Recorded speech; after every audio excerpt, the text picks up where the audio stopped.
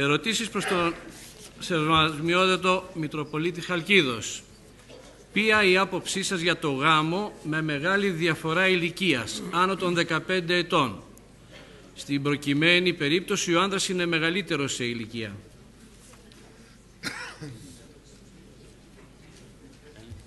Ναι, το μικρόφωνο. Το μικρόφωνο. Α, ε, δεύτερη ερώτηση, γιατί ο χριστιανικός γάμος πολλές φορές γίνεται το Σάββατο.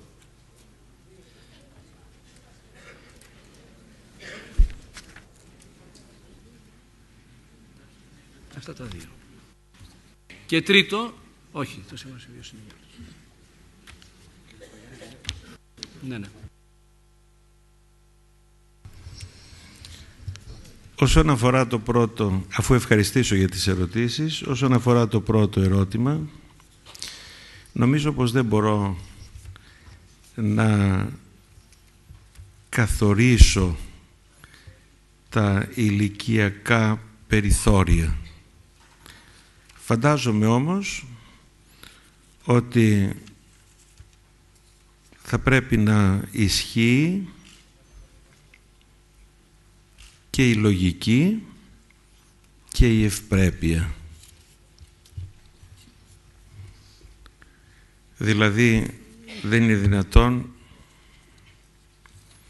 ένας υπερήλικας και είναι κάτι που το βλέπουμε στις μέρες μας να παντρεύεται μια νεαρά κοπέλα. Αυτό είναι το άνω των 15 ετών. Δεν είναι δυνατόν, διότι εκεί δεν είναι η αγάπη εκείνη που κινεί τους ανθρώπους, αλλά είναι το συμφέρον που ένας θέλει μάλλον θεραπενίδα και η άλλη περιουσία και κληρονομιά. Και για το δεύτερο, γιατί ο χριστιανικός ορθόδοξος γάμος γίνεται Σάββατο, γιατί το απαιτούν οι χριστιανοί μας. Γι' αυτό γίνεται. Διότι αν γίνει μία απαγόρευση, επειδή την επομένη είναι Κυριακή και οι άνθρωποι πρέπει να πάνε στον Εσπερινό και να ετοιμαστούν για τη Θεία Λειτουργία, να είστε βέβαιοι ότι πολλοί θα είναι εκείνοι αμέτρητοι οι οποίοι θα αντιδράσουν και θα ψάξουν να βρουν τρόπους για να επιτύχουν την οικονομία και θα την επιτύχουν. Γι' αυτό είπα και στην εισήγησή μου ότι μερικές φορές λέμε είτε ευθέως είτε πλαγίως υπονοούμε τι κάνει η Εκκλησία και γιατί δεν μιλάει η Εκκλησία και σιωπεί η Εκκλησία ως αν και όλοι μας να μην ξέρουμε μέσα στη συνείδησή μας τι λέει ο Θεός και τι λέει η Εκκλησία. Και όταν υπάρχει κάποιος που φωνάζει, αυτόν τον θεωρούμε τις περισσότερες φορές γραφικό. Και μάλιστα διερωτώμεθα και διαμαρτυρόμεθα τι θέλει και ανακατώνεται με αυτά. Τι λόγος του πέφτει. Όταν πάλι ο άλλος σιωπά, λέμε γιατί δεν φωνάζει. Στη Μητρόπολη την οποία διαπημένω θυμάμαι ότι ο προκάτοχός μου Μητροπολίτης ε, εξέδωκε μια εγκύκλιο με την οποία συνιστούσε στους χριστιανούς να μην κάνουν γάμο το Σάββατο το βράδυ. Γιατί με τα γλέντια και τα υπόλοιπα δεν μπορούν την επομένη να εκκλησιαστούν.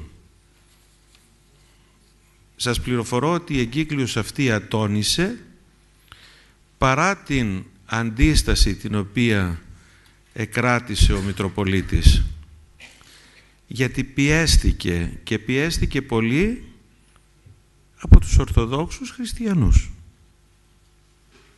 Δεν ήρθαν αλόδοξοι να παντρευτούν. Άνθρωποι οι οποίοι λένε ότι πιστεύουν στον Χριστό, πιστεύουν στην Εκκλησία. Αυτοί ήρθαν να παντρευτούν και αυτοί απαιτούν συνήθως. Και μάλιστα μερικές φορές, δεν ξέρω αν θα σας στενοχωρήσω, αν στενοχωρήσω κάποιους, αλλά θα το πω, οι εκκλησιαζόμενοι, μερικοί από τους εκκλησιαζομένους, είναι ιδιαίτερα απαιτητικοί στη χρήση της οικονομίας. Όχι για πνευματικούς λόγους, αλλά για την ικανοποίηση του εγωισμού και της ματαιοδοξίας τους. Δεν ξέρω αν ικανοποίησα με τις απαντήσεις μου. Αυτά είχα να πω και ευχαριστώ. Έχουμε και άλλες ερωτήσεις για το Σεβασμιότατο. Εφόσον επιτρέπονται οι μεικτοί γάμοι, γιατί η Εκκλησία, εφόσον δεν επιτρέπονται οι μεικτοί γάμοι, γιατί η Εκκλησία τους ευλογεί, ακούμε στη Σύρο γίνονται μεικτοί γάμοι. Επίσης επιτρέπονται οι γάμοι Ορθοδόξων, Χριστιανών και Καθολικών Παπικών δηλαδή. Και επίσης γάμος Ορθοδόξου με Ορθόδοξο του Παλαιού ημερολογίου. Είναι δυνατή, επιτρέπεται. Και πάλι για σας.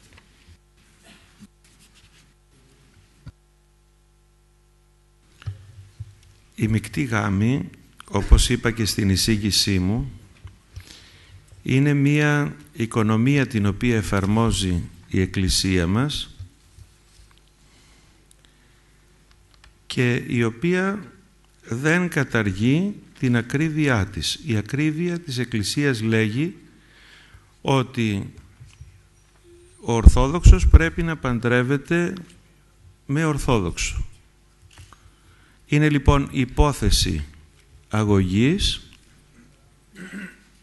εκ μέρους όλων των φορέων της αγωγής, των γονέων, των αναδόχων, των ποιμένων, να μάθουν τα παιδιά τους να επιλέγουν ορθόδοξο μέλος για να κάνουν το γάμο τους. Αλλά τις περισσότερες φορές αυτό που είναι το πρώτο κριτήριο, που θα έπρεπε να είναι το πρώτο κριτήριο για να μπει στο χριστιανό, δεν είναι το πρώτο. Δεν ξέρω αν έχει και κάποια σειρά, κάποια θέση στις πρώτες προϋποθέσεις. Η Εκκλησία λοιπόν έρχεται και λέγει ότι θα κάνουμε αυτή την οικονομία και θέτει και έναν όρο, μία προϋπόθεση ότι τα παιδιά που θα προκύψουν από τον γάμο αυτό, το μεικτό δηλαδή, θα βαπτιστούν κατά το ορθόδοξο δόγμα. Αυτό το ζητάει, το απαιτεί, το υπογράφουν οι άλλοι. Είναι πάντοτε αυτό εφικτό, επιτυγχάνεται πάντοτε αυτό; Είναι θέμα προς διερεύνηση. Όσον αφορά ε, τις περιοχές που αναφέρθηκαν, τη Σύρο παραδείγματος χάρη, εκεί πρέπει να είμαστε ιδιαίτερα προσεκτικοί. Γιατί έχουμε μία ευκολία να κατακρίνουμε την Εκκλησία που οικονομεί τα πράγματα και να θεωρούμε προδότες αυτούς οι οποίοι εφαρμόζουν αυτή την οικονομία για να μην χάσουν τα παιδιά τους ελπίζοντας ότι μπορεί και να κερδίσουν και τα άλλα μέλη. Ελπίζοντας και στη χάρη του Θεού. Και γι' αυτό ανέφερα το παράδειγμα του Αποστόλου Παύλου, ο οποίος είπε και συνέστησε να μην διαλύσουν τους γάμους τους οι χριστιανοί που ήταν παντρεμένοι με ε, εθνικούς, όχι απλώς ετεροδόξους, αλλά ειδωλολάτρες. Και εδώ πρέπει να ζητήσουμε από το ορθόδοξο μέλος, αν πραγματικά ζει και βιώνει την Ορθοδοξία και αγαπήσει έναν άλλον άνθρωπο, εκεί τον θέλω να τον πείσει χωρίς να τον πιθαναγκάσει να αλλάξει και να γίνει χριστιανός. Η Εκκλησία δεν φοβήθηκε ποτέ αυτού του είδους την επικοινωνία. Υπό την προϋπόθεση όμως ότι υπάρχουν άνθρωποι που ξέρουν τι Θεό λατρεύουν και τι πιστεύουν. Είναι λοιπόν αυτή μία οικονομία και θεωρώ ότι δεν πρέπει να κατηγορούμε την Εκκλησία όταν οικονομεί. Γιατί η οικονομία είναι οδός σωτηρίας και είναι εξίσου αποδεκτή και θεόπνευστη με την ακρίβεια των ιερών κανόνων την οποία πρέπει και να αποδεχόμαστε. Έπειτα η οικονομία δεν έρχεται να καταργήσει τον κανόνα ούτε να τακτοποιήσει ατομικές εκκρεμότητες κάποιων ανθρώπων. Έρχεται να αντιμετωπίσει ένα πρόβλημα που αφορά ολόκληρη την Εκκλησία. Και μπορεί λοιπόν η Εκκλησία να πει ναι αναγνωρίζω αυτό το βάπτισμα και είμαστε υποχρεωμένοι οι υπόλοιποι να πούμε ναι γιατί το είπε η Εκκλησία. Να κάνουμε υπακοή στην Εκκλησία και να δεχθούμε και αυτόν τον γάμο και να τον ιερολογήσουμε. Γιατί το είπε η Εκκλησία άσχετο τι λέει η καρδιά μας γιατί πολλές φορές θα θέλαμε οι Ορθόδοξοι να ενώνονται με Ορθοδόξους. Με τους παλαιοημερολογίτες είναι ένα άλλο ζήτημα. Πρώτα πρώτα δέχονται οι παλαιοημερολογίτες να συνάψουν γάμο με νέοημερολογίτες. Δέχονται; Μας θεωρούν ερετικούς. Και αυτοί το κρατούν.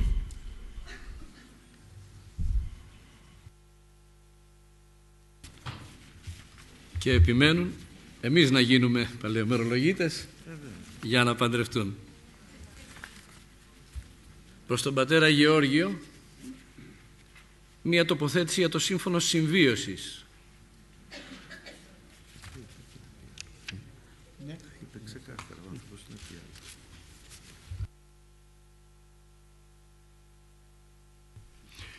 Ήδη είπα ότι είχα να πω, βέβαια κάπως πυκνότερα και ίσως δεν μπόρεσα να τα αναπτύξω όπως θα ήθελαν πολλοί και ζητώ συγγνώμη αλλά έχω μάθει 50 χρόνια περίπου πανεπιστημιακή ζωής έχω μάθει να σέβομαι τον χρόνο.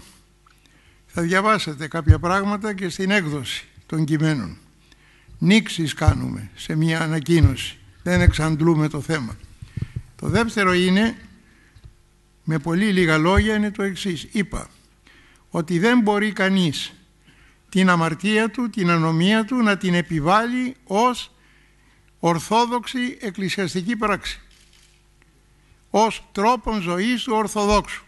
Έχει δικαίωμα να κάνει ό,τι θέλει, έχει δικαίωμα δηλαδή να διαθέσει το, το σώμα του όπως αυτός νομίζει, αλλά όταν ο νόμος ανασχηματίζεται για να καλύψει αυτές τις καταστάσεις, τότε σημαίνει δεν είμαστε κράτος, είμαστε ρεμπέτα σκέρι.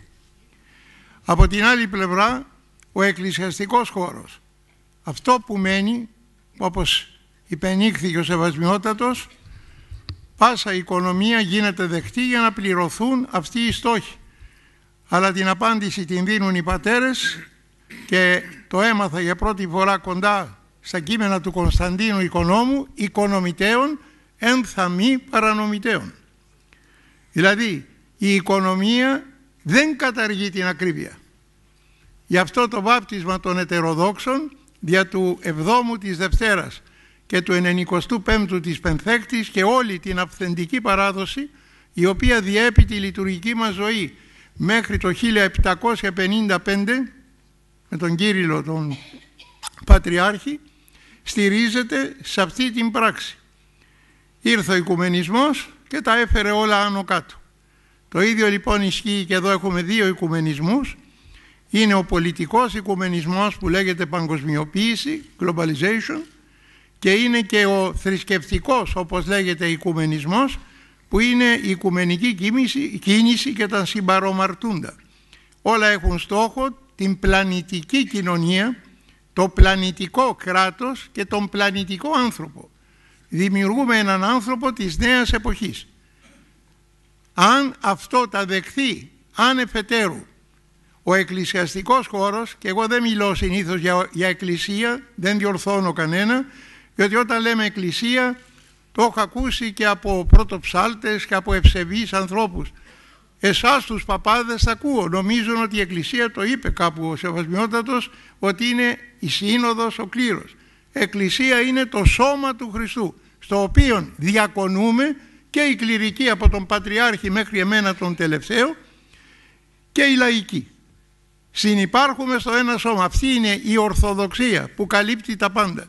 Οπότε το, η απάντηση πολύ γρήγορα είναι ότι τι περιμένουμε από το συνοδικό μας σύστημα. Δεν υπάρχει Ορθοδοξία χωρίς συνοδικό σύστημα. Και όταν δεν λειτουργεί αυθεντικά και γνήσια η σύνοδος, τότε δεν έχουμε εκκλησία. Είναι ένα ανέκδοτο κακοστημένο. Με συγχωρείτε, είμαι και εγώ παπάς και συμμερίζομαι την ευθύνη των όσων λέω. Εκκλησία σημαίνει σύνοδος. Τα πάντα λύνονται συνοδικά. Αυτό είναι αντίθετο στον παπισμό που τα πάντα λύνονται από τον Πάπα και το Κονκλάβιο. Επομένως, τι περιμένουμε; Κύριοι, αυτοί οι οποίοι θέλουν ένα τέτοιο τρόπο ζωής και αυτοί οι οποίοι ως πολιτικοί το δέχονται, πάσης βαθμίδος πολιτικοί, είναι εκτός Ορθοδοξίας. Ας κάνουν ό,τι θέλουν, αφού η πολιτεία δια των νόμων της το ανέχεται. Αλλά δεν μπορεί ο άλλος να απαιτήσει ο Χριστός αυτή είναι η Εκκλησία και οι Άγιοι του να συμμεριστούν την πτώση τη δική τους.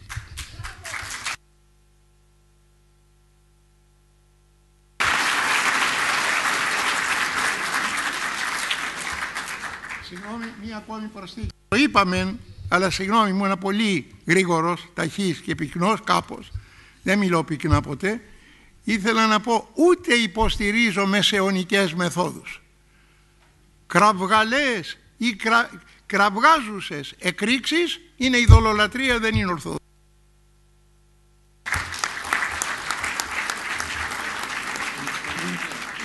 Αυτό το δεύτερο δεν χειροκροτήθηκε πολύ.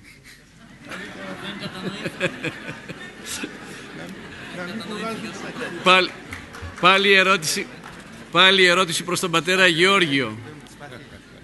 Σωματική επαφή μέσα στο γάμο με προφύλαξη είναι αμαρτία; Δεύτερος γάμος μετά χωρισμού είναι δυνατή; Δεν το κατάλαβα αυτό. Εντάξει, πάμε το, το πώς αν μπορείτε. Ναι, ευχαριστώ. Πάμε σε περιπτώσεις οι οποίες δεν δημιουργούνται μέσα στον εν Χριστώ γάμο. Λέει ο Χρυσόστομος, θέλεις να χαρείς τη γυναίκα, αγάπα τη γυναίκα σου.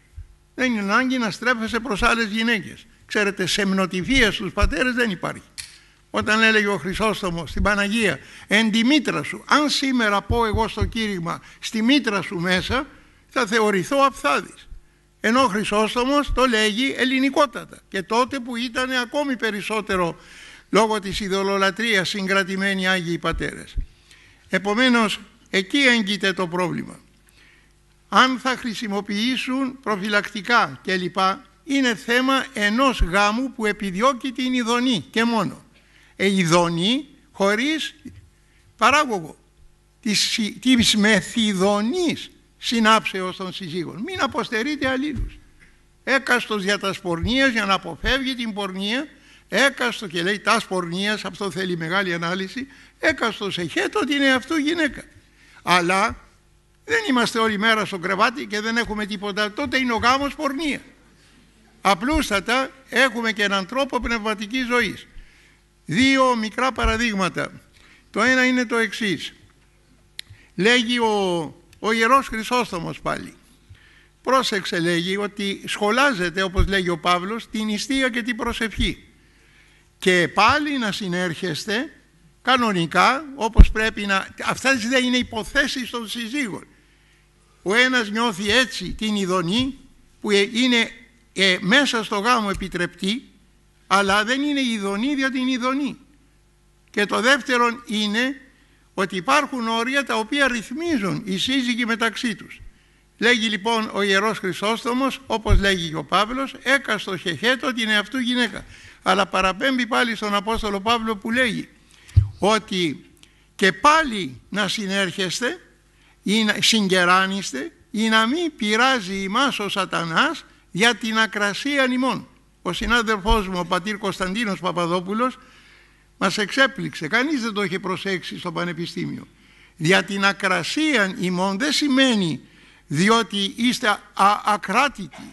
Συνεχώς ειδονή ζητάτε. Άμα είμαι άνθρωπος ειδονής και απολαύσεως, ο διάβολος με έχει δικό του, ούτε καν απασχολείται με μένα. Είμαι δικός του. Για την ακρασία σημαίνει για το μη κεράνιστε. Αυτό λένε οι πατέρες. Επειδή δεν συνέρχεστε. Και θυμάμαι τον πατέρα Πορφύριο, τον Άγιο Πορφύριο, ο οποίος πνευματικό μου παιδιά που του στέλνα, εγώ είμαι νοσοκόμος, εκείνος ήταν γιατρός, του στέλνα λοιπόν πνευματικά μου παιδιά και έλεγε ο πατήρ Πορφύριος, θα ακολουθείτε τη γυναίκα σας που είναι πιο ορμητική, γιατί αν πάει με κάποιον άλλον, εσείς θα φταίτε. Λόγος του πατρός Πορφυρίου. Δεύτερον, το αντιμετωπίζει ο Άγιος Κοσμάς ο Ετωλός. Ας διαβάσουμε, ανεφέρθη το όνομα του πατρός Αυγουστίνου, την ευχή του να έχουμε και εγώ έμαθα την κοινωνία με τον Ψαρουδάκη και τον πατέρα Αυγουστίνου και είμαι ευγνώμων αυτούς. Λέγει ο Κοσμάς, πήγε ο, ο ένας επίσκοπος, ο οποίος θα ήταν και παρθένος και άνθρωπος πίστεως και ευλαβίας, πήγε λοιπόν σε κάποιο χωριό να δει πώς ζει ένας παπάς. Και εκεί που μπήκε μέσα βλέπει τον παπά Βλέπει μάλλον στο σπίτι να μπαινοβγαίνουν παιδιά από 18 ετών μέχρι νήπια. Λέει τι είναι αυτά παπά μου, λένε τα παιδιά μου. Πόσα χρόνια είσαι παντρεμένος, λέει 20. Και πόσα παιδιά έχεις, 18 του λέει. Λέγει τότε, μα δεν κάνεις τίποτα άλλο παπά μου όλη μέρα, αυτό κάνεις. Οπότε του λέει ο παπάς, ακούσε γέροντα, πάρε το πετραχύλι μου και εξομολόγησέ με. Δεν ήξερα καθόλου τη γυναίκα που παντρεύτηκα. Δεν είχαμε καμία σχέση. Εν συνεχεία παντρευτήκαμε και αφού κάμαμε τρεις μέρες νηστεία, σμίξαμε. Τρεις μέρες νηστεία, ποιος τις κάνει. Ζητούμε ακρίβεια παρένθεση, ζητούμε ακρίβεια στους γάμους, ευχαριστώ το σεβασμιότατο, τι να πει. Διότι ζητούμε ακριβία, αλλά ή έχει μια κοιλιά μέχρι εκεί η νύφη, ή έχει πεντέξι παιδιά να την ακολουθούν δίπλα. Τι ακρίβεια και τι οικονομία. Αυτό είναι να μην το πω. Οπότε λοιπόν του λέει μετά σμίξαμε και όταν καταλάβαμε ότι είναι έγκυος δεν αιματασμίξαμε. Προσευχή, νηστεία, αγώνας. Εγέννησε το παιδί η γυναίκα μου και αφού καθαρίστηκε, σαράντισε δηλαδή, τότε ξανασμίξαμε. Και όταν πάλι έμεινε έγκυος δεν αιματασμίξαμε και αυτό έγινε 18 φορές. Του λέει ο δεσπότης βάλε το πετραχίλι εσύ να με εξομολογήσεις. Ε αυτή είναι η Ορθοδοξία. Τώρα εάν την, σας παρακαλώ. Ούτε, ούτε στους μαθητές μου έλεγα ή ήθελα να με χειροκροτούν. Παρακαλώ, η αγάπη σας σας μείνει μέσα το χειροκρότημα εσωτερικό για να μην νομίσουμε ότι γίνονται εξαιρέσεις. Σημασία λοιπόν έχει πρώτα είμαστε Ορθόδοξοι και μετά ακολουθούμε εντασσόμεθα στον τρόπο ζωής της Εκκλησίας. Γι' αυτό λυπούμε και τους επισκόπους από πού να αρχίσουν και από πού να τελειώσουν. Το ίδιο δεν ισχύει και για μας τους παπάδες.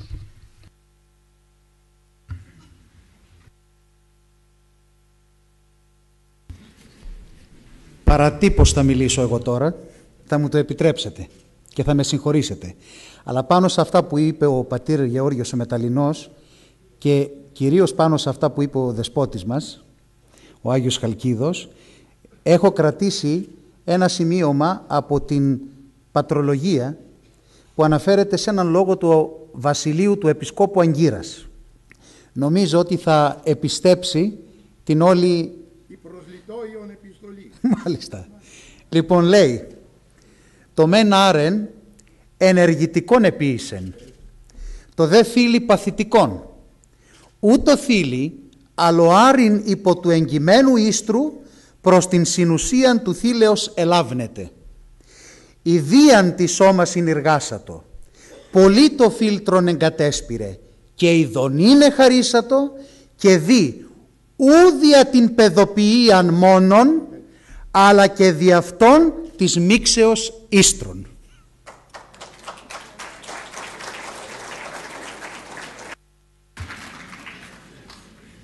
Πάλι προς τον πατέρα Γεώργιο.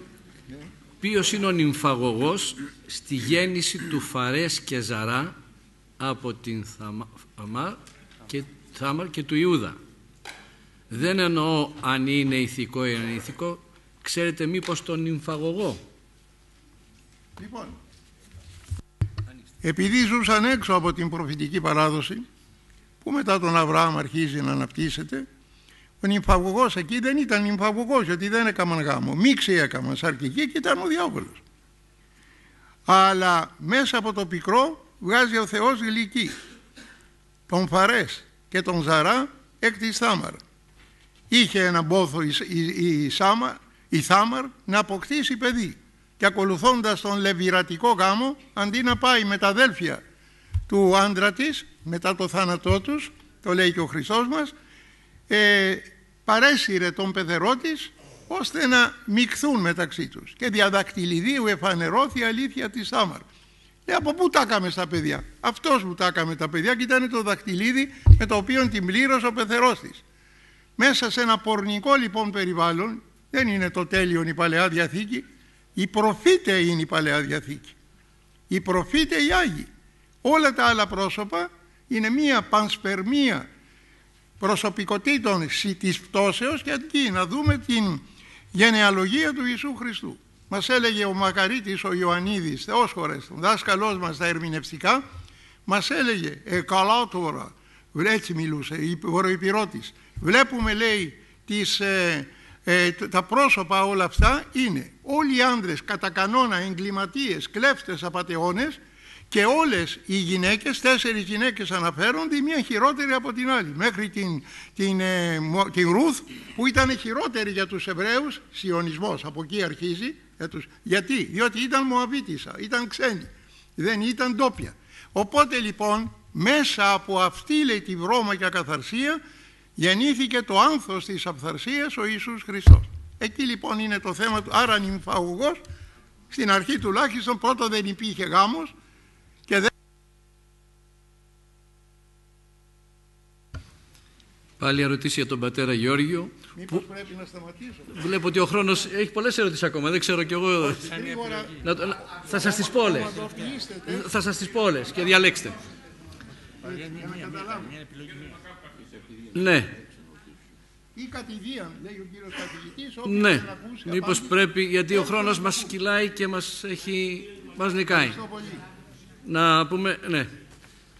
Στον κύριο Δημακάκο, οι εκτρώσεις μήπως είναι πρόβλημα στην σημερινή κοινωνία της πτώσης, οι, εκ, οι εκτρώσεις. Μήπως είναι πρόβλημα στη σημερινή κοινωνία της πτώσης ένα στοιχείο υποκρισίας του σημερινού ανθρώπου; Ή μήπως είναι έλλειψη πνευματικής ορθοδόξου παιδείας;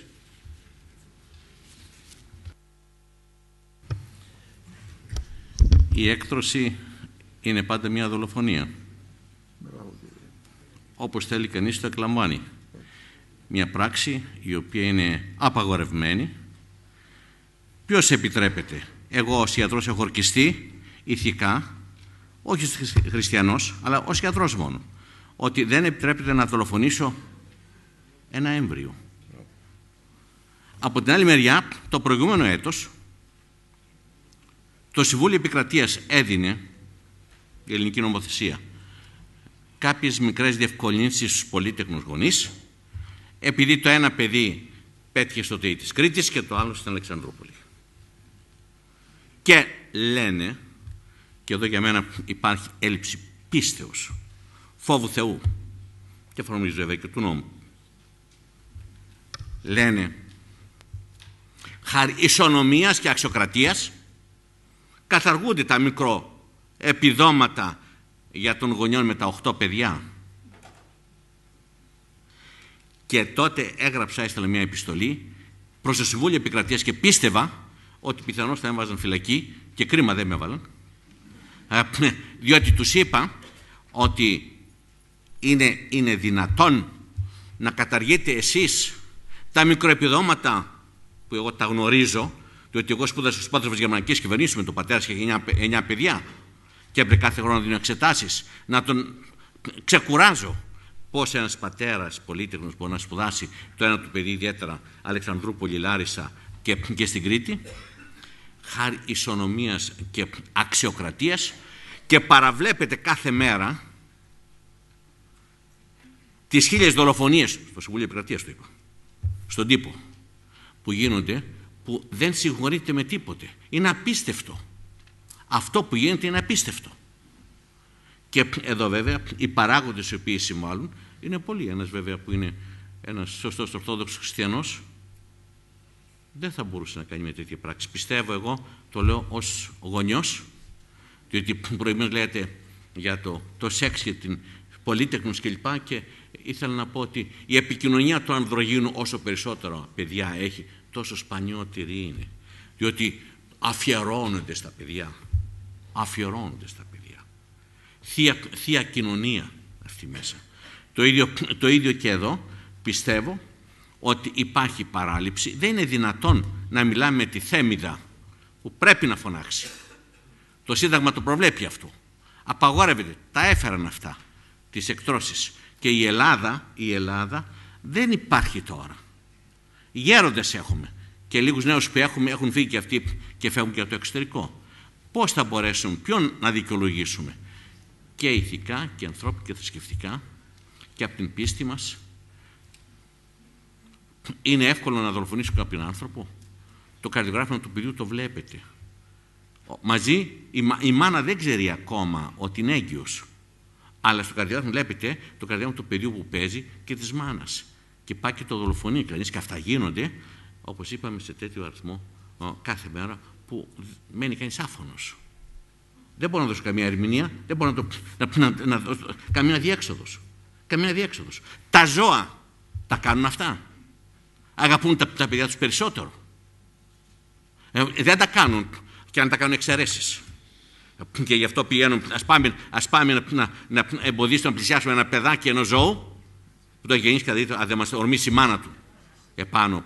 Να μας... Δηλαδή μετά από λίγο θα ζηλεύουμε, θα ποθούμε ή θα πρέπει να μυθούμε αξιώματα του ζωικού βασιλείου και όχι των ανθρώπων με τη λογική, με τη ελεύθερη βούληση και τα άλλα τόσα καλά προθήματα που ο Κύριος μας χάρισε και εμείς τα παραβλέψαμε. Επί ο χρόνος μας φεύγει και θα φύγουμε μακριά από το πρόγραμμα και αύριο ξημερώνει και Κυριακή. Να παρακαλέσω τις υπόλοιπες ερωτήσεις ή να ρωτήσετε κατηδίαν τους αγαπητούς εδώ εισηγητάς ή το πνευματικό μας ο καθένας. Ένα πολύ μικρό διάλειμμα, μας έφυγε λίγο χρόνος με τις ερωτήσεις, είναι πάρα πολλές ερωτήσεις.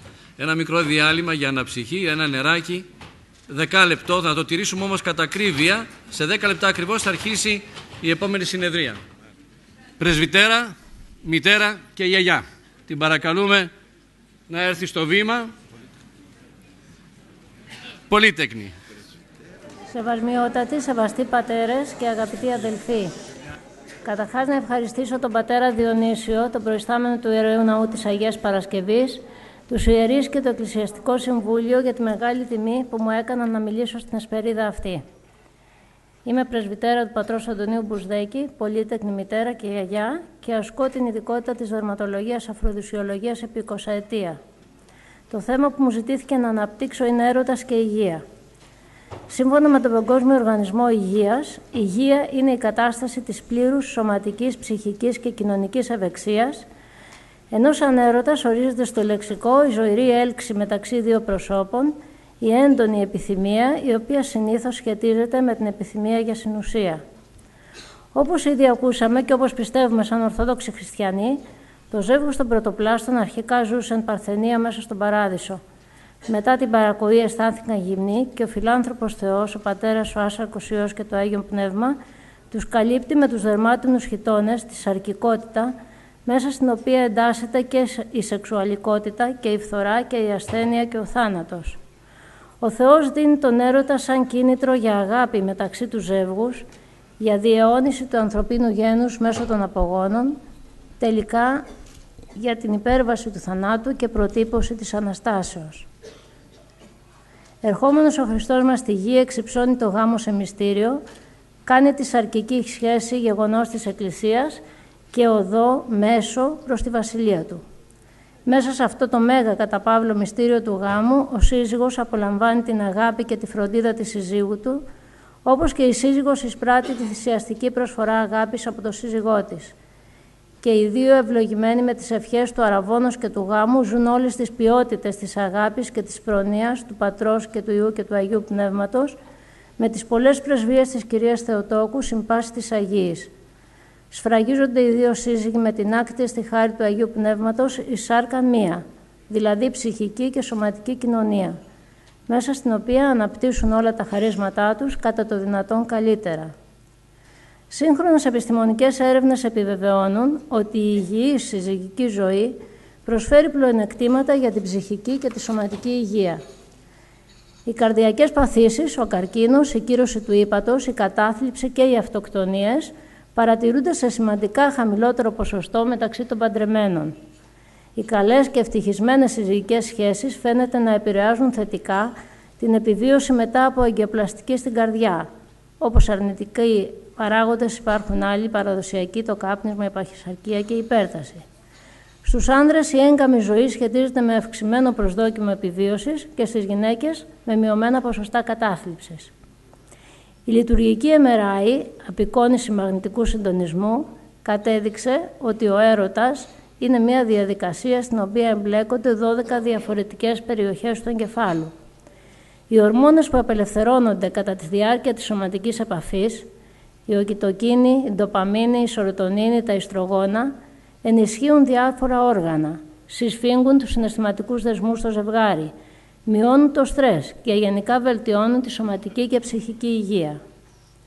Αν αυτά ισχύουν γενικώς για τα παντρεμένα ζευγάρια, μια και οι αντίστοιχες μελέτες και έρευνες και δημοσιεύσεις έχουν γίνει κυρίως στο εξωτερικό, αντιλαμβανόμαστε πόσο καθυπεροχήν ισχύουν στον ευλογημένο Ορθόδοξο γάμο, στον οποίο είναι ή θα έπρεπε να είναι άγνωστος ο ψυχολόγος και ο σύμβουλος γάμου και στον οποίο ο πνευματικός είναι ο έμπειρος ιατρός όπου καταφεύγει το ζευγάρι για πνευματικά φάρμακα, επίδεση των πληγών ή και λεπτές χειρουργικές επεμβάσεις.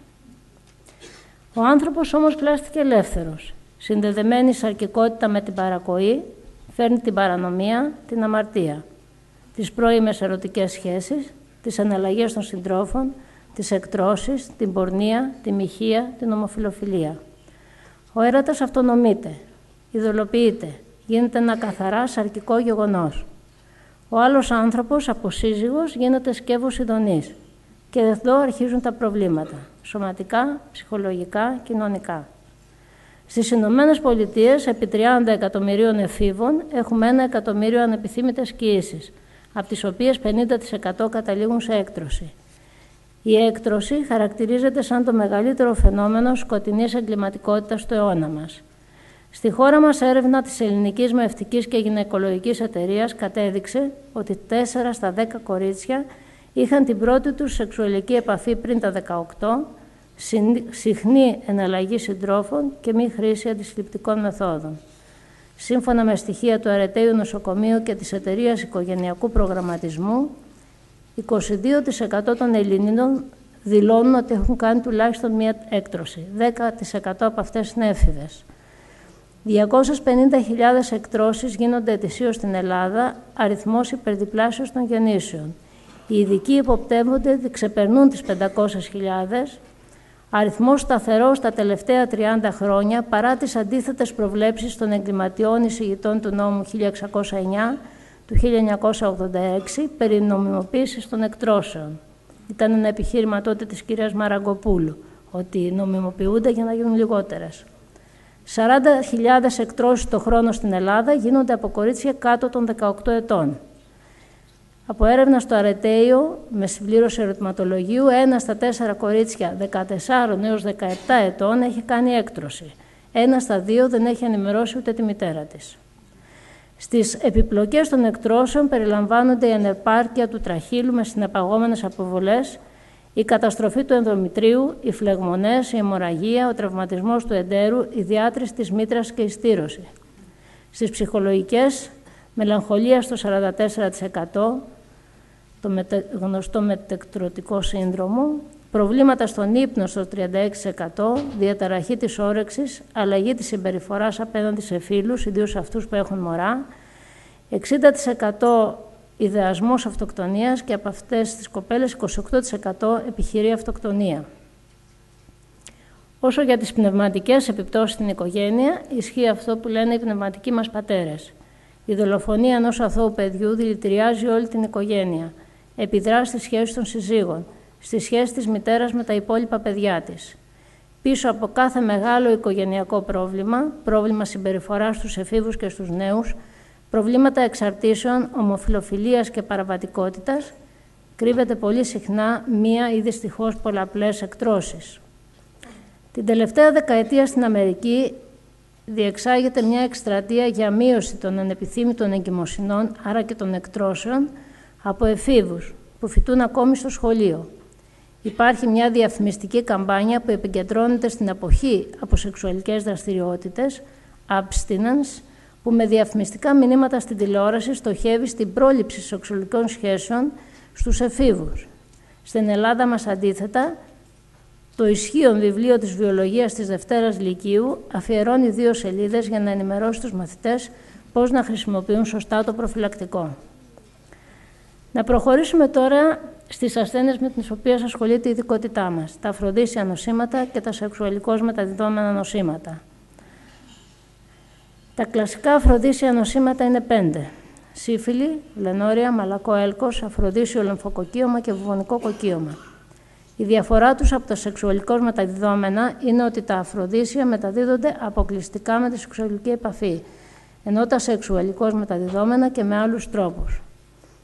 Στα σεξουαλικώς μεταδιδόμενα νοσήματα περιλαμβάνονται ο έρπης των γεννητικών οργάνων, τα οξυδενή κονδυλώματα και η HPV λοιμώξης, η μολυσματική τέρμινθος, η ψώρα, η φθηρίαση του σώματος, οι χλαμιδιακές λοιμώξεις, οι υπατήτηδες Β και Σ και τέλος το AIDS. Παραλείπω τα επιδημιολογικά στοιχεία για τη σύφυλλη, για λόγους χρόνου, πάντως η σύφυλλη υπάρχει στην Ελλάδα και ανθεί. Θα ήθελα να αναφερθώ περισσότερο στις λοιμώξεις από τον ιό των ανθρωπίνων θυλωμάτων, τη γνωστή και πολύ πολύ διαδεδομένη στους νέους μας HPV λίμωξη, για την οποία γίνεται πολλής λόγος τελευταία, κυρίως λόγω της σχέσης της με τον καρκίνο του τραχύλου της μήτρας. Την πρώτη αναφορά στον HPV τη συναντάμε στον Ιπποκράτη, ο οποίος αναφέρει την παρουσία θυλωμάτων στον άνθρωπο κατά την αρχαιότητα. Ο ιός HPV είναι ένας DNA ιός, ο οποίος έχει μία προτίμηση, τροπισμό για το δέρμα και τους βλενογόνους. Όπως όλοι οι ιοί, εισέρχεται στο γενετικό υλικό των προσβηθέντων κυτάρων και αλλάζει τη δομή τους μέσω του ανεξέλεγκτου πολλαπλασιασμού του. Ο ιός HPV προκαλεί καλοήθη νοσήματα όπως τα γεννητικά κονδυλώματα και τα θυλώματα του δέρματος, τις μυρμηγκές, τις πολύ γνωστές, προκαρκινικές βλάβες, αλλά και πολλές μορφές καρκίνου, κυρίως των γεννητικών οργάνων. Διηθητικός καρκίνος του τραχύλου της μήτρας, του εδίου, του κόλπου, του πέους και του προκτού, αλλά και καρκίνο του στόματοφάριγγα, της στοματικής κοιλότητας και του λάριγγα. Έχουν ταυτοποιηθεί πάνω από 100 υπότυποι του ιού HPV, εκ των οποίων 30 έως 40 προσβάλλουν το γεννητικό σύστημα και 15 έως 20 εξ αυτών είναι υψηλού κινδύνου.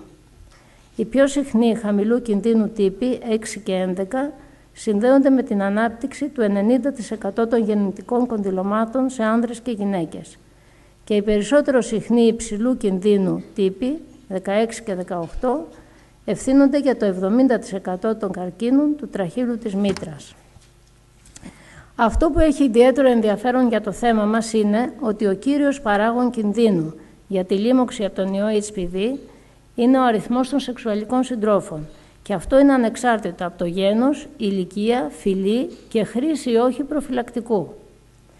Το DNA του HPV ανοιχνεύεται στο 20% των γυναικών με ένα σεξουαλικό σύντροφο και στο 80% των γυναικών με πάνω από 5 σεξουαλικούς συντρόφους.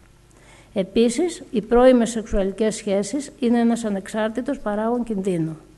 Παρεμπιπτόντως, σημαντικός παράγων κινδύνους σε αυτή τη μόλυνση είναι και το κάπνισμα. Σε ένα πρόσφατο διευρωπαϊκό εγχειρίδιο για γιατρούς σχετικά με την HPV λίμωξη αναφέρεται επιλέξη. Τι συμβουλή μπορείτε να δώσετε σε έναν έφηβο που σας ρωτάει σχετικά με τον κίνδυνο μόλυσης από κοντιλώματα; Απάντηση.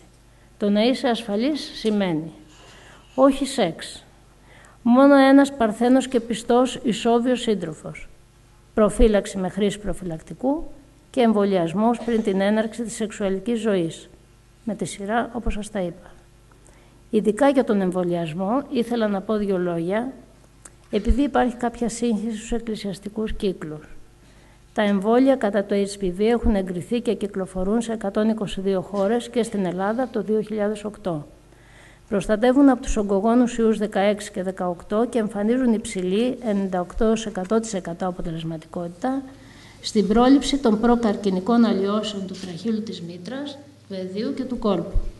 Προς το παρόν στην Ελλάδα αποζημιώνονται για τα κορίτσια μόνο 12 έως 26 ετών. Φυσικά και ο εμβολιασμός είναι άχρηστος σε νέους και νέες πιστούς με συνειδητή πνευματική ζωή που παραμένουν αγνοί μέχρι το γάμο τους και πιστοί στον και στην σύζυγό τους για όλη τους τη ζωή. Όμως με δεδομένη την τεράστια εξάπλωση του ιού στον νεανικό πληθυσμό και την άγνωστη ίσως και διαβίου παραμονή της μόλυσης σε ανενεργό, μη ορατό στάδιο, σαν γιατροί είμαστε υποχρεωμένοι να συστήνουμε τον εμβολιασμό σε όλα τα κορίτσια. Θέλω να πω για να είμαι σαφής ότι μπορεί μια κοπέλα να είναι αγνή και ένας γονιός να είναι σίγουρος για το κορίτσι του. Όμως όταν έρθει η ώρα του γάμου είναι πιθανό η κοπέλα να μολυνθεί από το σύζυγό της έστω και αν αυτός είχε μία μόνο άλλη επαφή ακόμα και πριν πολλά πολλά χρόνια από το γάμο του. Να μιλήσουμε τώρα και για τη μάστιγα του 20ου αιώνα, το AIDS. Τον Ιούνιο του 1979, σε νοσοκομείο των Ηνωμένων Πολιτειών, ένας νέος ομοφιλόφιλος άνδρας που νοσηλευόταν για υψηλό πυρετό, επίμονο διαρροϊκό σύνδρομο και βήχα, πέθανε. Οι γιατροί προβληματίστηκαν έντονα μετά την αποκάλυψη ότι η αιτία της πνευμονίας του νεαρού ομοφιλόφιλου ήταν η πνευμονοκίστη καρίνη. Και αυτό γιατί αυτό το μικρόβιο έχει βρεθεί να αποτελεί αιτία λίμωξης μόνο σε άτομα που έχουν κάποια αιτία ανοσοκαταστολής. Δεν δουλεύει καλά το ανοσιακό του σύστημα. Και στην περίπτωση αυτή ο νεαρός ασθενής δεν είχε άλλη αιτία γνωστή ανοσοκαταστολής πλην της πνευμονίας. Σε πολύ σύντομο χρονικό διάστημα εμφανίστηκαν και άλλες ασυνήθιστες λοιμώξεις και ορισμένες κακοήθειες. Το 1981 το Κέντρο Ελέγχου Λιμωδών Νόσων των ΗΠΑ, το γνωστό CDC, ανέφερε πέντε περιπτώσεις ασθενών με πνευμονία από πνευμονική καρίνη και 26 ασθενείς με σάρκωμα καπόζη.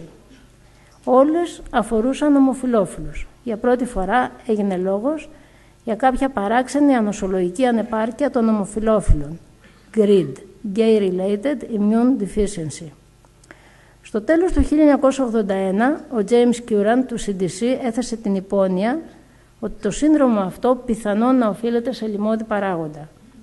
Στις αρχές του 1983, ανεξάρτητοι ερευνητές, ο Ρόμπερτ Γκάλος στην Αμερική και η Λίκ Μοντανιέ, Σερμάν και Μπαρές Σινουσί στο Παρίσι, απομόνωσαν από πάσχοντες ένα ερετροϊό που ανήκε στην οικογένεια των HTLV, Human T-Cell Leukemia Viruses, και που ονομάστηκε το 1986 ο ιός HIV, Human Immunodeficiency Virus, ιός ανθρώπινης ανοσιαναπάρκειας. Η δε νόσος που προκαλείται από αυτό τον ιό ονομάστηκε Σύνδρομο Επίκτητης Ανορσολογικής Ανεπάρκειας, AIDS. Από τότε, μεγάλο πλήθος ερευνητών παγκοσμίως, αλλά και στην Ελλάδα, εργάζονται με ζήλο για να ερευνήσουν, να διαλευκάνουν, να μελετήσουν, να περιγράψουν, να αναχαιτήσουν και να θεραπεύσουν αυτή την νόσο που εμφανίστηκε σαν ένας σύγχρονος λοιμός ικανός να πλήξει ολόκληρη την ανθρωπότητα. Σήμερα γνωρίζουμε ότι ο ιός HIV δρά καταστρέφοντας τα κύτταρα του ανοσοποιητικού συστήματος τα οποία διαδραματίζουν σημαντικό ρόλο στην προστασία του οργανισμού από λοιμώξεις και άλλα νοσήματα. Μπορεί να μεταδοθεί μέσω της σεξουαλικής επαφής, προκτική, κολπική, στοματική ή μέσω της κοινή χρήσης αιχμηρών αντικειμένων, σύριγγες, ξηραφάκια και βελόνες με χίβορο θετικό άτομο και από μία χίβορο θετική μητέρα στον νεογνώ κατά τη διάρκεια της κοίησης, του τοκετού και του θυλασμού. Ο ιός δεν μεταδίδεται μέσω της καθημερινής κοινωνικής επαφής, χειραψία, αγκαλιάς, φιλιά, των κουνουπιών της αποκοινού χρήσης φιλής στο μάγουλο, των κουνουπιών της αποκοινού χρήσης οικιακών συσκευών, του σάλιου, των δακρύων, του υδρότα, του αέρα και του νερού. Δεν μεταδίδεται. Ο όρος AIDS αναφέρεται στο τελευταίο στάδιο της HIV λίμωξης, κατά το οποίο το ανασωπητικό σύστημα έχει αποδυναμωθεί σε τέτοιο βαθμό, ώστε το HIV θετικό άτομο είναι επιρρεπές σε διάφορα νοσήματα και συγκεκριμένους τύπους καρκίνου. Ο χρόνος μεταξύ μόλυνσης από τον ιό και εκδήλωσης του AIDS ποικίλει από άτομο σε άτομο, ενώ η έγκαιρη χορήγηση συνδυασμού αντιρετροϊκών φαρμάκων υψηλής δραστικότητας επιβραδύνει σημαντικά την εξέλιξη του νοσήματος και μειώνει σε μεγάλο βαθμό τη θνητότητα. Έως τώρα δεν έχει βρεθεί αποτελεσματικό εμβόλιο. Το AIDS έχει αναγνωριστεί σαν ένα παγκόσμιο πρόβλημα, πανδημία. Σε πολλές χώρες της Αφρικής, από την οποία ξεκίνησε η επιδημία, ένα στα πέντε άτομα, κυρίως νέοι, είναι μολυσμένα. Το 2014 περίπου 34 εκατομμύρια άνθρωποι είχαν HIV λίμωξη παγκοσμίως. Από το 1981 έως το 2009 προκάλεσε σχεδόν 30 εκατομμύρια θανάτους. Στην Ελλάδα ο πρώτος ασθενής αναφέρθηκε το 1981 και ήταν ομοφιλόφιλος άνδρας. Το 1982 είχαμε τρεις άνδρες ομοφιλόφιλους και σύμφωνα με το Κέντρο Ελέγχου και Πρόληψης Νοσημάτων, το ΚΕΛΠΝΟ, μέχρι και την 31η Οκτωβρίου του 2015 έχουν καταγραφεί στην Ελλάδα 15.109 περιστατικά λίμωξης με το ιό HIV, 82,7% σε άνδρες. Από το σύνολο των ατόμων αυτών, 3.782 έχουν εμφανίσει AIDS και περίπου 7.700 βρίσκονται υπό αντιρετροϊκή θεραπεία. Ο συνολικός αριθμός των θανάτων από AIDS στην Ελλάδα ανέρχεται στους 2.562. Οι ομάδες ατόμων που είχαν χαρακτηριστεί υψηλού κινδύνου είναι οι ομοφιλόφιλοι, οι τοξικομανείς και οι πολυμεταγγιζόμενοι. Σήμερα όμως, μέσω των αμφιφιλόφιλων ανδρών, το ποσοστό των ετεροφιλόφιλων HIV θετικών συνεχώς αυξάνεται. Επειδή η επιδημία του AIDS είναι μεγάλο ιατρικό, οικονομικό και κοινωνικό πρόβλημα, μεγάλο βάρος έχει δοθεί στον τομέα της πρόληψης. Ο πρώτος και κύριος τρόπος προφύλαξης είναι η πιστή, αμοιβαία, μονογαμική σχέση και ακολουθούν ο περιορισμός στις αναλογές των συντρόφων, η σωστή χρήση του προφυλακτικού, η αποφυγή κοινής χρήσης αιχμηρών αντικειμένων και ο προγεννητικός έλεγχος της εγγύους. Δυστυχώς, όπως έχετε διαπιστώσει, από κάθε υπεύθυνο ή ανεύθυνο φορέα και κυρίως από τα μέσα μαζικής ενημέρωσης, καλλιεργείται και διαδίδεται ότι η χρήση προφυλακτικού είναι ικανή και αναγκαία για να αντιμετωπίσουμε το AIDS. Στη δεκαετία του 1980, το σύνθημα που επικρατούσε ακόμα και από τους επίσημους φορείς ήταν «Ναι στον έρωτα, όχι στο AIDS». Και αυτό ήταν και η κύρια αιτία που οδήγησε τότε τον Σεβασμιότο Μητροπολίτη Ναυπάκτου κ. Ιερόθεο σε μια σειρά από διαμαρτυρίες και τελικά στην παρέτησή του το 1989 από την Εθνική Επιτροπή AIDS, όπου συμμετείχε ως εκπρόσωπος της Εκκλησίας. Ανέφερε τότε ο Σεβασμιώτος ότι παρόλο που ο Παγκόσμιος Οργανισμός Υγείας είχε αποστείλει σχέδιο για την ενημέρωση του πληθυσμού, στο οποίο έγραφε ότι τα πιο αποτελεσματικά μέσα για να απαλλαγεί κανείς από τη μετάδοση του AIDS δια της σεξουαλικής επαφής είναι να παραμείνει πιστός σε ένα μη μολυσμένο σύντροφο ή να μην έχει καθόλου σεξουαλική επαφή, η ενημέρωση του κοινού ήταν μια καμπάνια για την ασφαλή χρήση του προφυλακτικού, μέχρι και προφυλακτικά είχαν μοιραστεί στην πλατεία Συντάγματος. Ο Σεβασμιότητος τότε είχε δώσει συνεντεύξεις, είχε γράψει κείμενα κλπ. τα οποία κυκλοφόρησαν σε ένα πολύ ωραίο τόμο που εκδόθηκε το 1994 με τίτλο AIDS ένας τρόπος ζωής και στον οποίο περιλαμβάνεται και μια εγκύκλειος προς το λαό που κυκλοφόρησε η Ιερά Σύνοδος της Εκκλησίας το 1991 και στην οποία αναλύονται οι θέσεις της Εκκλησίας σχετικά με το AIDS. Αναφέρεται αυτήν ότι η Εκκλησία από την αρχή με σεμινάρια, εκδόσεις ενημερωτικών φυλαδίων από Μητροπόλει, διαλέξεις και ομιλίες ασχολήθηκε με την ενημέρωση του ποιμνίου της. Υπογραμμίζεται ότι η ασθένεια του AIDS οφείλεται στην απομάκρυνση του ανθρώπου από το Θεό και τον νόμο του, στη λανθασμένη αντίληψη για τον έρωτα, στην επικράτηση του ευδαιμονισμού και του ειδονισμού, στο πανσεξουαλισμό που καλλιεργείται έντονα από τα μέσα μαζικής ενημέρωσης ως τρόπο ζωής. Τονίζεται ότι το καλύτερο φάρμακο για το AIDS είναι η επιστροφή στον παραδοσιακό εκκλησιαστικό τρόπο ζωής, όπως τον έζησαν και τον ζουν εκατομμύρια άνθρωποι στον τόπο μας. Και ότι η καλύτερη προφύλαξη είναι η εγκράτεια, η αγνότητα και ο ευλογημένος γάμος που δίνουν νόημα ζωή στον άνθρωπο και ιδιαίτερα στους νέους. Αναφέρει επίσης η εγκύκλιος της Διαρκούς Ιεράς Συνόδου το αυτονόητο για τους γιατρούς αλλά και τους χριστιανούς ότι η στάση μας έναντι των φορέων και των ασθενών με AIDS πρέπει να είναι στάση φιλανθρωπίας, συμπαράστασης, αγάπης και όχι κατάκρισης ή περιθωριοποίησης. Η Εκκλησία, έλεγε, είναι θεραπευτήριο και νοσοκομείο μέσα στο οποίο αν θέλει ο άνθρωπος μπορεί να ανακαινήσει την ψυχή του με τη μετάνοια σε τέτοιο βαθμό ώστε, ώστε κατά τη Δευτέρα παρουσία του Χριστού και αυτό το σώμα το ευθαρμένο από κάθε αρρώστια και από το AIDS να γίνει πνευματικό, να αναστηθεί φωτισμένο και να περιχωρεύει γύρω από το πρώτο φως το Θεό. Όντας για να είμαστε δίκαιοι, το φεντινό ενημερωτικό φυλάδιο του και ελπνό αναφέρει σαν πρώτο τρόπο προφύλαξης τις μονογαμικές σχέσεις. Κλείνοντας, θα ήθελα να αναφερθώ και στο φλέγον θέμα της ομοφιλοφιλίας που δυστυχώς έγινε επίκαιρο με την πρόσφατη επέσχυντη ψήφιση του νόμου περί συμβιώσεως των ομοφύλων από τη Βουλή. Η ομοφιλοφιλία είναι ένα θέμα με θεολογικές, κοινωνικές, ηθικές, νομικές και παιδαγωγικές συνιστώσεις και γι' αυτό θα ήθελα να αναφερθώ μόνο σε δύο σημεία της ιατρικής πλευράς και ειδικότερα στην ύπουλα προωθήμονη άποψη ότι έχει γονιδιακή βάση, ότι είναι δηλαδή κληρονομική. Στις αρχές της δεκαετίας του 1990 δημοσιεύτηκαν στις ΗΠΑ από ενεργούς ομοφιλόφιλους στην πλειοψηφία τους επιστήμονες οι τρεις κύριες επιστημονικές έρευνες Bailey and Pilar το 1991 σε ομοφιλόφιλους δίδυμους Σιμών Λιβάη το 1991 για την ανατομία του εγκεφάλου στην ίνεη της περιοχή και η γνωστότερη του Χάμερ του 1993 για το γνωστό γκέι γονίδιο στην HQ28 περιοχή οι οποίες έρευνες κατέληγαν σε συμπεράσματα που άφηναν ανοιχτό το ενδεχόμενο ύπαρξης κάποιας πιθανότητας για γενετική προέλευση ομοφιλοφιλίας. Αυτές οι εικασίες των επιστημόνων, αφού πρώτα μεταλλάχθηκαν σε βέβαιες ανακαλύψεις, μεταδόθηκαν αμέσως και διαδόθηκαν με έντονη δημοσιότητα από τα μέσα μαζικής ενημέρωσης. Καμία άλλη επιστημονική ομάδα δεν επαλήθευσε στη συνέχεια τις προαναφερθήσεις και πολυδιαφημισμένες από τα ΜΜΕ τρεις έρευνες. Απέναντία, το 1999, από τον Ράις, αναιρέθηκε οριστικά η τρίτη και σημαντικότερη από αυτές, του Χάμερ, ενώ παράλληλα έντονη και επαρκώς τεκμηριωμένη επιστημονική κριτική έχει ασκηθεί και για την αξιοπιστία των άλλων δύο που επίσης δεν επαληθεύτηκαν. Μπιν το 1994, Στάιν το 1999.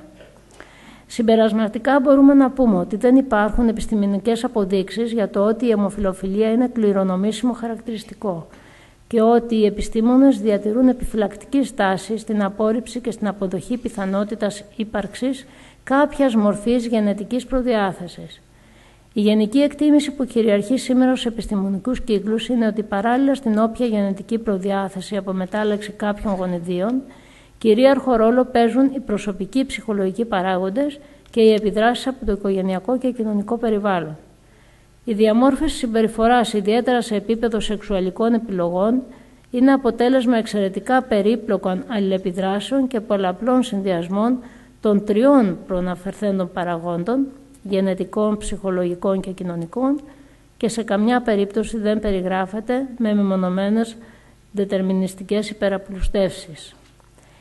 Επίσης, σχετικά με το ερώτημα αν η ομοφιλοφιλία θεωρείται από την ψυχιατρική επιστήμη ψυχιατρική νόσος, η ψυχίατρος κυρία Καλλιόπη Προκοπάκη στη μελέτη της «Ιατρικά δεδομένα για την ομοφιλοφιλία» του 2008 αναφέρει ότι η ομοφιλοφιλία συμπεριλήφθηκε ως ψυχιατρική διαταραχή στην πρώτη έκδοση του διαγνωστικού και στατιστικού εγχειριδίου των ψυχιατρικών διαταραχών της Αμερικάνικης Ψυχιατρικής Εταιρείας το 1952. Στη συνέχεια, από τη δεκαετία του 1980, σταδιακά αποϊατρικοποιήθηκε, καθώς ο χαρακτηριστισμός της ως νόσου θεωρήθηκε από τα ομοφιλοφιλικά κινήματα ως νέο στίγμα. Το 1992 η κατηγορία ομοφιλοφιλία αφαιρείται και από τη Διεθνή Ταξινόμηση Ασθενειών του Παγκόσμιου Οργανισμού Υγείας. Αντίστοιχη πορεία από χαρακτηρισμού ακολουθεί και η παιδοφιλία. Και τι άλλο. Η διεθνή σύγχρονη προσπάθεια νομιμοποίησης της ομοφιλοφιλίας ως φυσιολογικής πρακτικής δεν βασίζεται σε επιστημονικά ιατρικά δεδομένα, αλλά σε φιλοσοφικά, κοινωνικά δεδομένα και ισχυρές πολιτικές πιέσεις και ακτιβιστικές πιέσεις. Παρά το γεγονός ότι η ομοφιλοφιλία δεν θεωρείται πλέον ψυχιατρική διαταραχή, ωστόσο, λέει η κυρία Προκοπάκη, πολλές πρόσφατες έρευνες έχουν επιβεβαιώσει ότι οι ομοφιλόφιλοι παρουσιάζουν πολύ συχνότερα κατάθλιψη, απόπειρες αυτοκτονίας, γενικευμένη αγχώδη διαταραχή, χρήση ουσιών και αλκοολισμό. Για τη σύνδεση της ομοφιλοφιλίας με τα σεξουαλικά ως μεταδιδόμενα νοσήματα αναφερθήκαμε μόλις πιο πάνω. Σεβαστοί πατέρες και αγαπητοί αδελφοί, ο Άγιος Γρηγόριος ο Παλαμάς γράφει ότι όταν ο νους του ανθρώπου απομακρυνθεί από το Θεό ή κτηνώδης γίνεται ή δαιμονιώδης και τότε τεσσαρκικές επιθυμίες έκδοτον εαυτόν ποιεί και μέτρον ειδονής ου γινώσχει. Έτσι, η διαστροφή του ερωτικού στοιχείου οδηγεί στον άνθρωπο αφενός μεν στο να μην γνωρίζει μέτρο ειδονής, αφετέρου δε στο να μην γνωρίζει καμιά πραγματική ικανοποίηση. Η ψυχή μένει ανικανοποίητη, χωρίς ανάπαυση και ο άνθρωπος είναι ασθενής. Στα ιατρία μας έρχονται καθημερινά νέοι άνθρωποι χωρίς προσανατολισμό, μπερδεμένοι, χαμένοι μέσα στον ευδαιμονιστικό τρόπο ζωής που προβάλλουν τα ΜΜΕ και που έχει υιοθετήσει εμπολίσει η ελληνική κοινωνία. Νομίζω ότι έχουμε την υποχρέωση σαν γιατροί να προσφέρουμε τη βοήθειά μας στην πρόληψη και θεραπεία των σωματικών νόσων, αλλά και την ευθύνη σαν χριστιανοί να δώσουμε τη μαρτυρία ότι υγιής άνθρωπος έξω από το ιατρείο της Εκκλησίας δεν υπάρχει. Ευχαριστώ.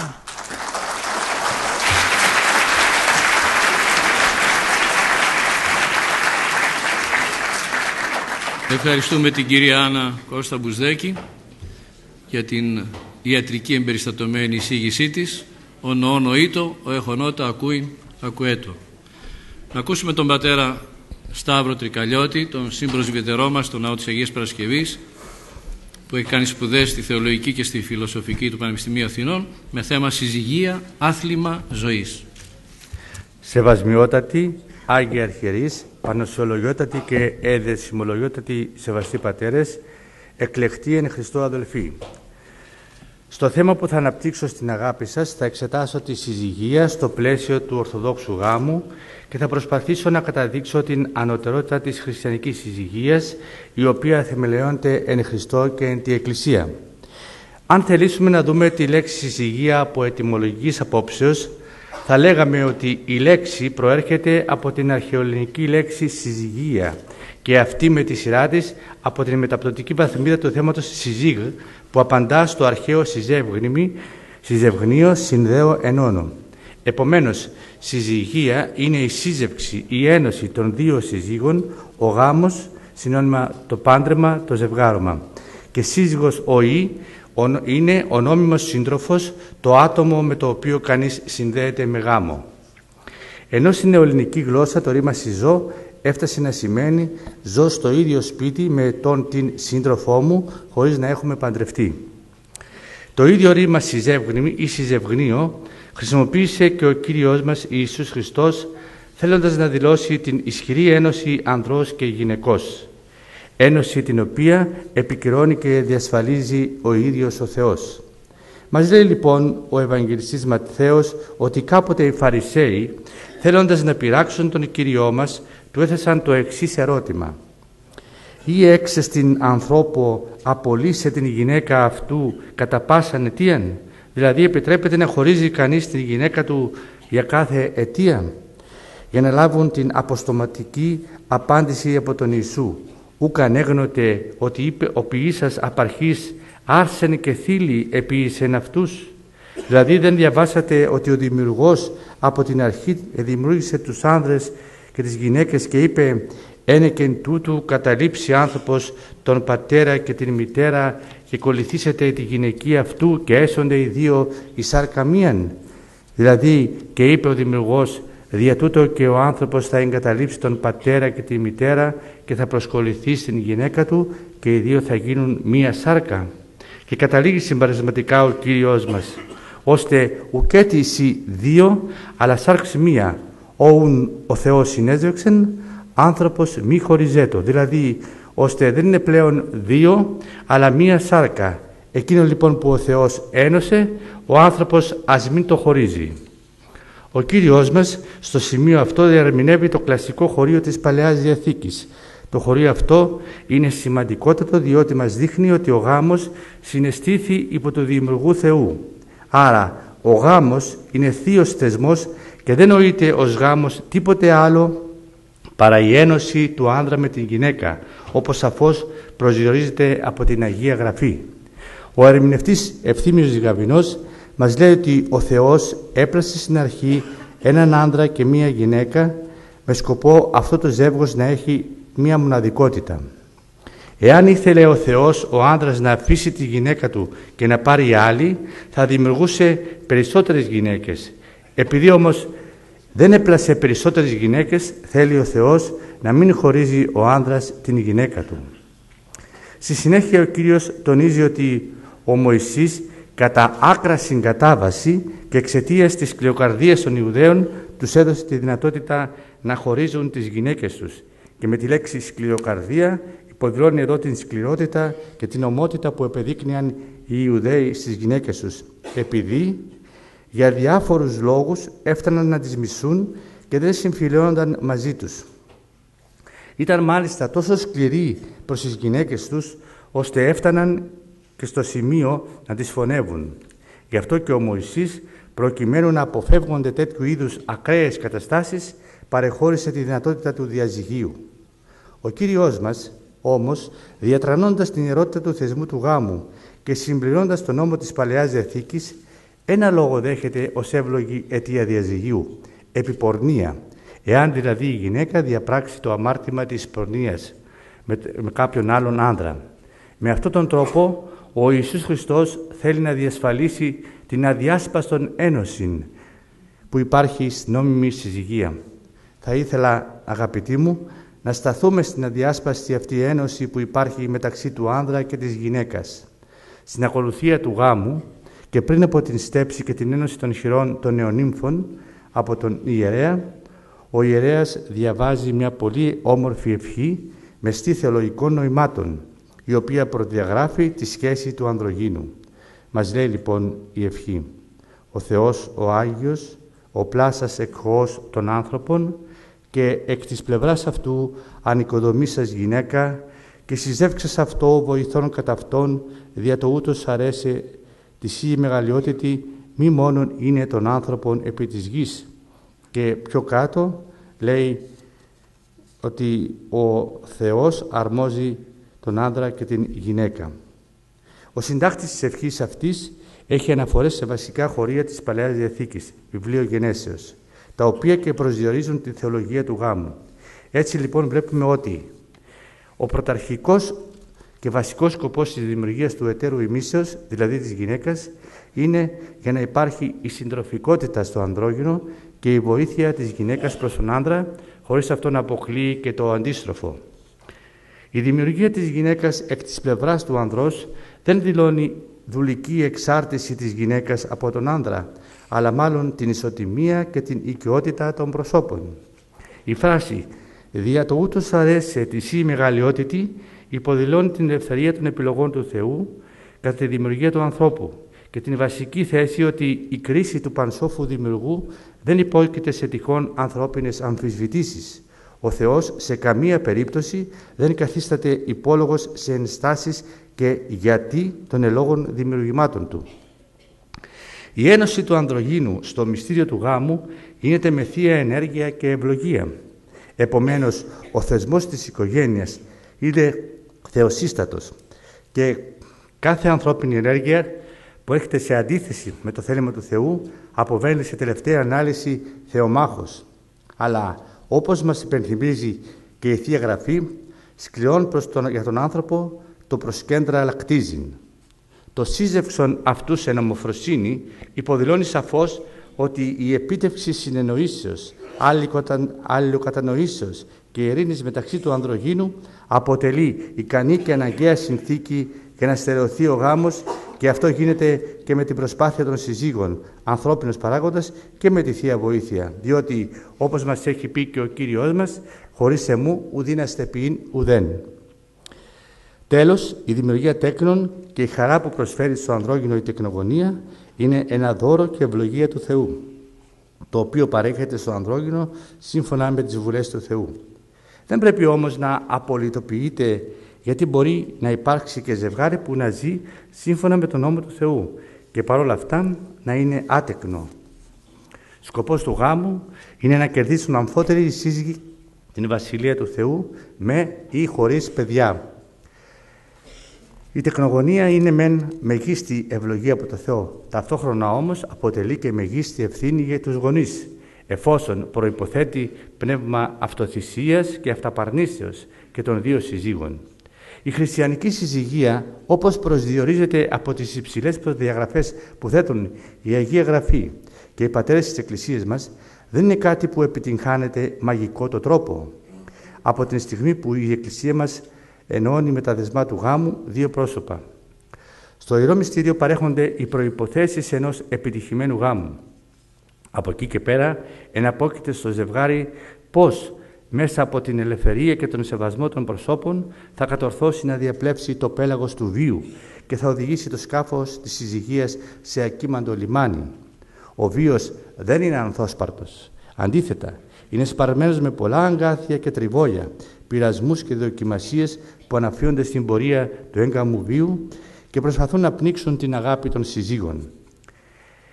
Αν για τη συνύπαρξη και τη συμβίωση δύο αδελφών που προέρχονται από τον ίδιο πατέρα και από την ίδια μητέρα υπάρχουν προβλήματα και δυσκολίες, πόσο μάλλον από την συμβίωση δύο εντελώς ξένων μεταξύ τους προσώπων, δύο διαφορετικών κόσμων, με διαφορετικές ή και αντίθετες πολλές φορές νοοτροπίες, κοινωνικές και οικονομικές καταβολές, εμπειρίες και πνευματικό ή μορφωτικό επίπεδο.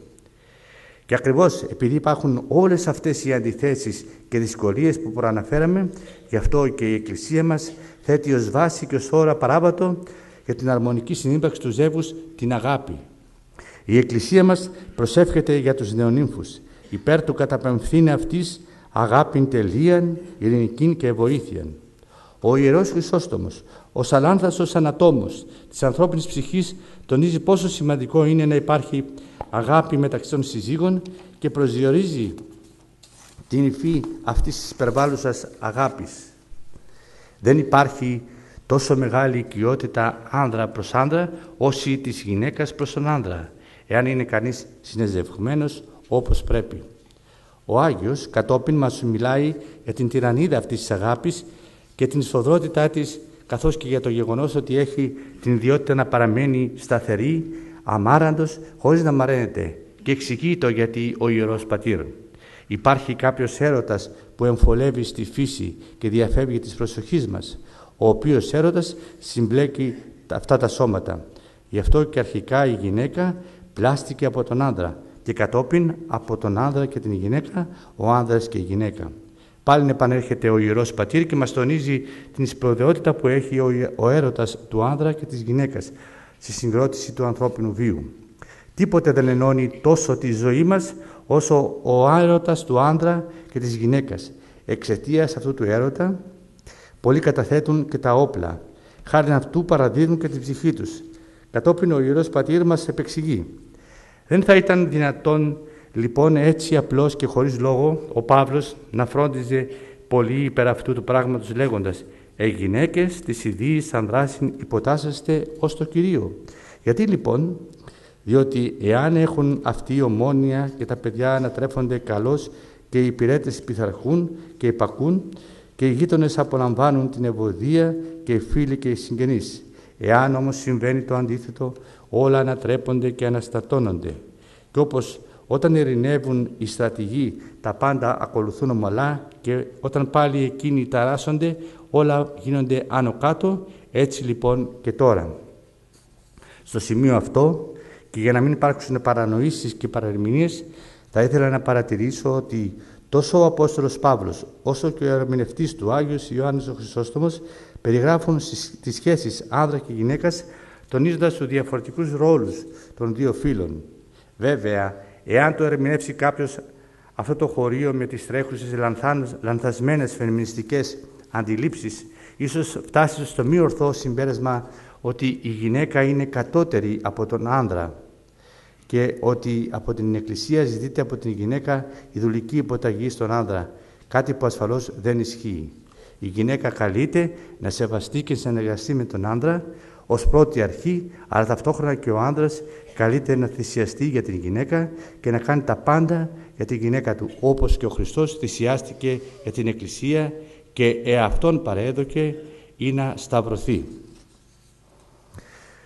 Σε κάποια άλλη ομιλία του ο Ιερός Πατήρ αποδεικνύει ότι η γυναίκα πλάστηκε ως λογική φύση από την πλευρά του άνδρα, ως τούν εκ των οστέων αυτού και δόθηκε στον άνδρα ως βοηθός κατά αυτόν, δηλαδή δόθηκε η γυναίκα ως παρηγορία στον άνδρα, παραμυθία. Στην ίδια ομιλία μας αναφέρει ότι η γυναίκα είναι ομότιμη με τον άνδρα και ότι πλάστηκε κατόπιν της σκέψεως πατρός προσωνιών, των θαυμαστών σύμβουλων, πίσω με άνθρωπον κατ' εικόνα η μετέραν και η καθομοίωση. Στην Εκκλησία μας, σύμφωνα με την, με την Παύλιο θέση, δεν υπάρχουν διακρίσεις ως προς το φύlo. Ουκ είναι Ιουδαίος, ουδέ Έλλην, ουκ είναι δούλος, ουδέ ελεύθερος, ουκ είναι άρσεν και θήλη. Πάντες γαριμείς είσαστε εν Χριστώ Ιησού. Αλλά διαφοροποίηση ρόλων και κοινή εν Χριστώ πορεία προς την Βασιλεία των Ουρανών. Ο γάμος είναι μυστήριο αγάπης, μας τονίζει κάπου αλλού ο Ιερός Χρυσόστομος. Μυστήριον αγάπης εστιν ο γάμος, γυνή γάρ και ανήρ, ούκ εσύ άνθρωποι δύο, αλλά άνθρωπος εις. Σε κοσμικά κυρίως περιβάλλοντα ή σε ανθρώπους που είναι χαλαράς ή υποκριτικά συνδεδεμένοι με την Εκκλησία, παρατηρείται μια τάση υποβάθμισης και υποτίμησης της γυναίκας. Οι εφέμερες σχέσεις εκτός γάμου, το σχιζοφρενικό μοντέλο της εναλλαγής ερωτικών συντρόφων, ο περιορισμός του ρόλου της γυναίκας από τους άνδρες σε αντικείμενο μόνο ειδονής και η ανάλογη εμποροεταυματοποίηση του φαινομένου, η οικονομική εκμετάλλευση της γυναίκας, ακόμα και το χειρότερο, η χειροδικία των ανδρών κατά των γυναικών, αποτελούν μερικά μόνο παραδείγματα για το πού μπορεί να φτάσει ο εξευτελισμός της γυναίκας από ανθρώπους που δεν βιώνουν την γνησιότητα της ορθόδοξης παράδοσης. Μόνο στην γνήσια εν Χριστώ ζωή το πρόσωπο της γυναίκας βρίσκει την πλήρη καταξίωσή του. Στο ευλογημένο πλαίσιο του γάμου, ο οποίος είναι τύπος της παρουσίας του ίδιου του Χριστού, τα επιμέρους εγώ, τα διάφορα πάθη και οι μικρότητες που δηλητηριάζουν τη σχέση των συζύγων υποχωρούν για χάρη της συζυγικής αγάπης και της αρμονικής συμβιώσεως. Ο Άγιος Ιουστίνος Πόποβιτς συνέστηνε στα ζευγάρια πνευματικά του παιδιά κάθε βράδυ μετά την κοινή προσευχή του αποδείπνου να βάζουν οι σύζυγοι από μία μετάνοια ο ένας στον άλλο, είτε έχουν ψυχρανθεί είτε όχι, προληπτικά. Αυτό βοηθάει πάρα πολύ στην ταπείνωση. Και όπου υπάρχει αληθινή ταπείνωση, εκεί υπάρχει και ασφάλεια και ειρήνη, φυγαδεύονται οι δαίμονες και δίνεται πλούσια η ευλογία του Θεού. Γι' αυτό και πάλι μας διδάσκει πολύ εύστοχα ο Ιερός Χρυσόστομος. Ας γίνει το σπίτι σου στίβος και παλέστρα αρετής, αφού γυμναστείς εκεί μέσα καλός, να αγωνιστείς με πολλή τέχνη και στην αγορά. Αλλού ο ίδιος Άγιος χαρακτηρίζει τον γάμο ως λιμάνι και έτσι πρέπει να είναι. Ένα απάγγιο λιμάνι όπου βρίσκουμε ζεστασιά και θαλπορή από το πολυκύμητο αγώνα, πολυκύμαντο αγώνα της ζωής.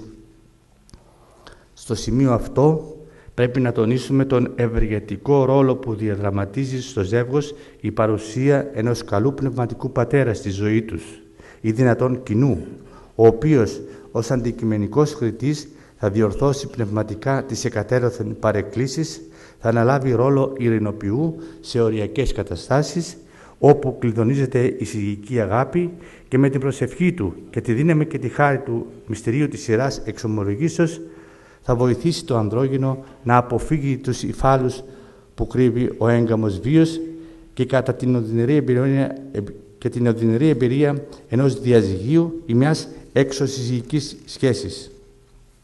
Ο Ιερός Χρυσόστομος στην περίπτωση ενδεχόμενης μοιχείας είναι σαφής και κατηγορηματικός. Την γυναίκα που σου έλαχε από την αρχή, αυτή να έχει συνέχεια. Γι' αυτό και η Εκκλησία μας εύχεται τίμιος ο γάμος και εκείτη αμίαντος.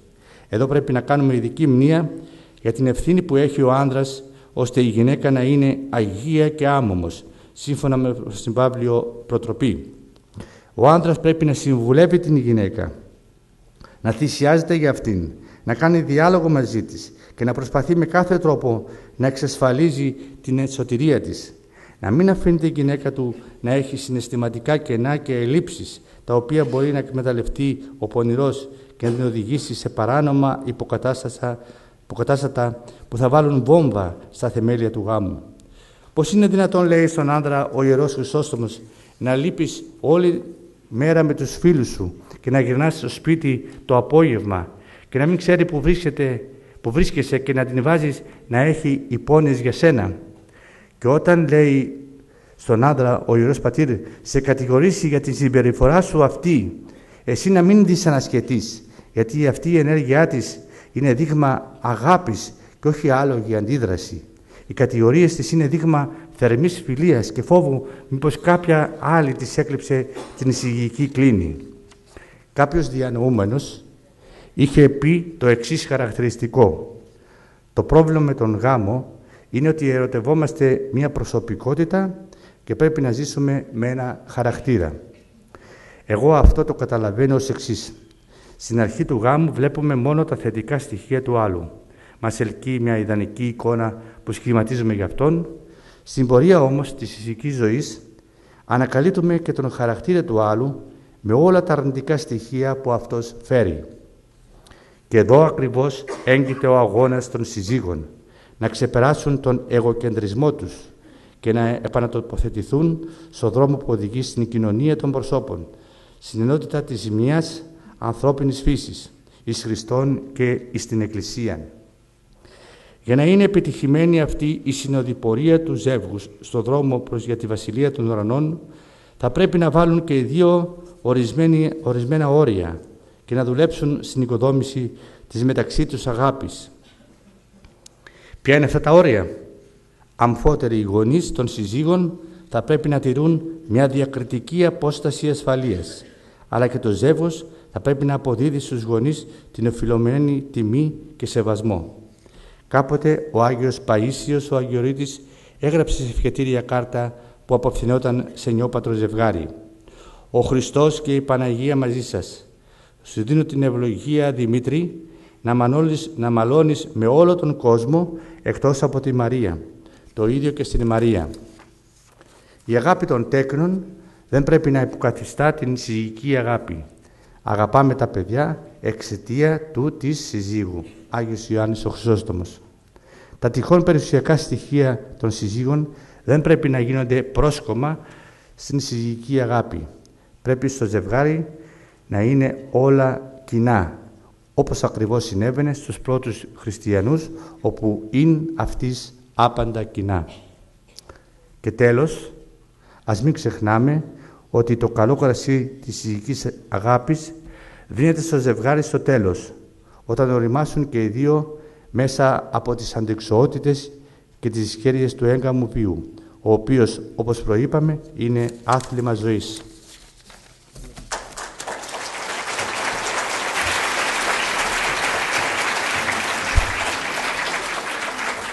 Ευχαριστούμε τον πατέρα Σταύρο για την όμορφη ανάλυση του γάμου που είναι άθλημα ζωής και σωτηρίας.